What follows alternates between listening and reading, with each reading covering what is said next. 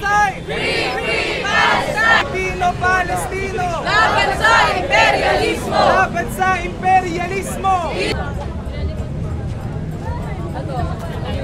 In the Philippines! Uh, we are one with the Palestinian people in resisting the unjust occupation being done by Israel. We are here in front of the U.S. Embassy to condemn the support of the U.S. government to the Israeli government. The genocide will not take place without the political and military support of the U.S. government. Terorista! Ang US! Ang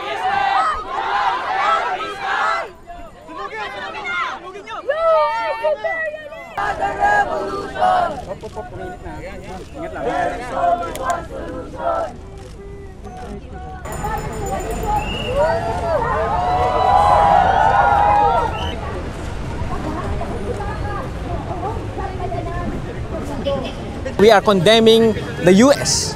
for continuing to supply Israel with weapons of mass destruction. The U.S. is responsible for the carnage in Palestine. Free, free Palestine!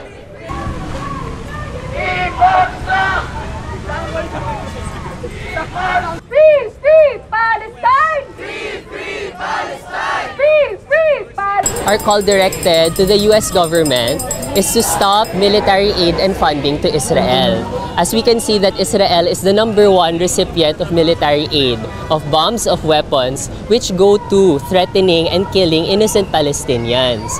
Sa inaabing ng Palestine, maganda pong makita ito ng ating mga kapwa. No, sila po ay nagsagawa ng intifada sa kanilang bayan kahit na...